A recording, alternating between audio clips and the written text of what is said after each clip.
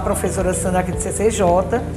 E nós estamos no aulão solidário, né? A importância do vestibular UVA, que é no domingo, e a importância desse aulão, né? O professor traz alguma questão, traz bizu, traz dicas, né?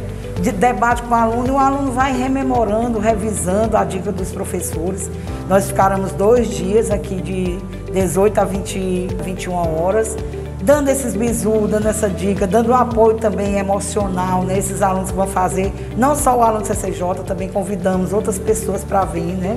E também o aulão tem um intuito solidário de ajudar as pessoas. Então, é muito importante esse momento né, do apoio à escola, aos seus pré-vestibulanos, né? Dando esse apoio teórico e também emocional.